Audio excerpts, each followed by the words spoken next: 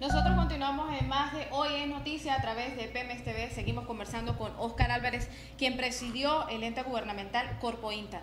Oscar, la última entrevista que te hicimos en este estudio, dijiste que ibas a entregar el parque metropolitano. Ahora formas parte de la política. ¿Qué pasó con el parque?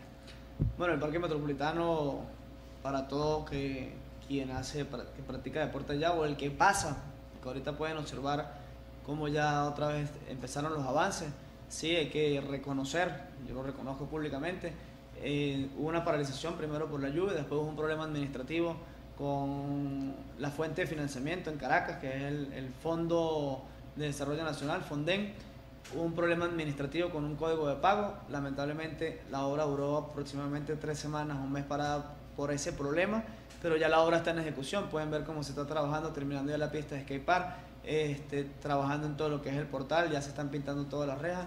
No solamente el que entra al parque puede visualizar el trabajo que se está haciendo, sino también el que pasa por el frente puede ver ya el avance que tiene el parque. Y estaremos Dios mediante la Virgen, si no me equivoco, entre el 27 y el 28 fue lo que me dijo el nuevo presidente de Corpo Inta, que está programada ya la inauguración de la primera etapa que son los 30 millones aprobados para esta primera etapa. Ok amigos, 27 y 28 es la fecha estipulada para entregar el parque metropolitano. Bien, en esos trabajos de ejecución no se incluye el mejoramiento para la caseta de electricidad que está allí, que de hecho una persona falleció hace menos de 15 días. ¿Qué iba a pasar con eso? Bueno, sinceramente lamento la pérdida humana que hubo allí, si me, me enteré. La caseta de electricidad en ningún momento se ha tocado como obra, en ningún momento ha estado establecida como proyecto de obra. Eh, es algo totalmente aislado de la obra. Lamentablemente no sé, no puedo decir qué estaba haciendo el señor allí, lamento su pérdida y de igual forma le doy mi sentido pésame a su familia, pero es algo que no, ni estaba establecido en proyecto, ni se ha tocado en el proyecto, ni es algo que podamos decir que, que se asume culpabilidad a la ejecución de la obra porque en ningún momento se ha tocado la caseta es una caseta más como cualquier caseta de electricidad que pueda haber en cualquier eh, sitio público que, bueno, lamentablemente el señor... Antes de, antes de retirarte del cargo como presidente corporativa, habías anunciado algunos planes para alguna, algunos espacios de la ciudad de San Cristóbal. ¿Estos planes han sido cumplidos? Bueno, sí, en efecto yo dije antes de retirarme que la avenida Carabobo se inauguraba para el mes de diciembre. También tengo entendido, eh, ya para finales de este mes, yo creo que se va a inaugurar si no es el 30, es entre los primeros tres días del mes de diciembre, se va a estar inaugurando también esta hora. También pueden ver los avances, eh, por ahí circula mucha gente de esta obra. También dije que para el mes de noviembre se debería estar inaugurando la obra de la avenida Antonio José de Sucre. También va a ser así. Ya también esa obra para entre el 25 y el 28 de noviembre también se a estar inaugurando. Estas son las tres obras que yo había anunciado.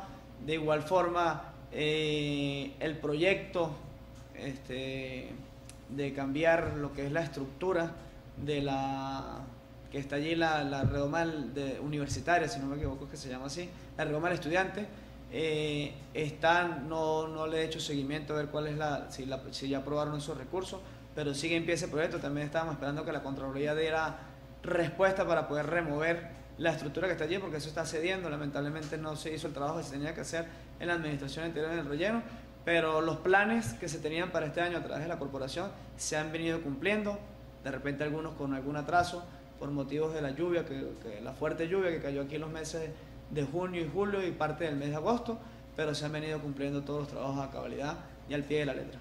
Oscar, ya para ir eh, concluyendo esta entrevista, eh, ¿cuál es el llamado que le haces a las personas para que los apoyen como candidatos del oficialismo? Bueno, han podido observar este, los candidatos que estamos a favor del pueblo, a favor de las mayorías, nosotros tenemos ese sentir socialista, humanista. No estamos trabajando solamente por un proyecto partidista, estamos trabajando por un proyecto de, plata, de patria, estamos trabajando por un proyecto social, humanista, que nos incluye a todos. A usted, amigo que nos opone, estamos trabajando de igual forma por usted. En ningún momento estamos siendo sectaristas, estamos llamando a todos los sectores de la sociedad, de la sociedad a trabajar en equipo, a trabajar en conjunto, porque de esa forma podemos hacer patria, de esa forma podemos consolidar una Venezuela productiva y de esa forma podemos hacer de que Venezuela sea reconocida a nivel mundial como uno de los mejores países del mundo. ¿Confía en el CNE? Por supuesto, así como hay personajes de la oposición, líderes políticos de la oposición, que han criticado al CNE cuando pierden las elecciones, pero lo avalan cuando ganan. Entonces, creo que es algo muy justo, ¿no? Nosotros hemos respetado siempre los resultados que, establece el Consejo Nacional Electoral, por supuesto, resultados que son en base al sentir del pueblo y de esta forma siempre lo vamos a seguir respetando, porque cuando gana en un municipio o cuando gana en un estado, porque hay gobernaciones que son opositoras, hay municipalidades que son opositoras y el mismo sistema se ha utilizado allí. Entonces creo que el sistema es igual, el sistema es muy pulcro, el sistema es muy limpio y de esta forma hago el llamado a la paz este 6 de diciembre, independientemente del resultado sea cual sea, por parte nuestra estamos dispuestos a aceptarlo y de esta forma podemos llamar a la paz, a la cordura y a la unión de todos y cada uno de nuestros chilenos. Bien, con esto culminamos esta nutrida entrevista a quien es el candidato por votolista, Oscar Álvarez. Soy Mayalín Villanueva que nos acompañó en esta edición de Hoy es Noticia a través de PMS TV, la nueva forma de ver televisión.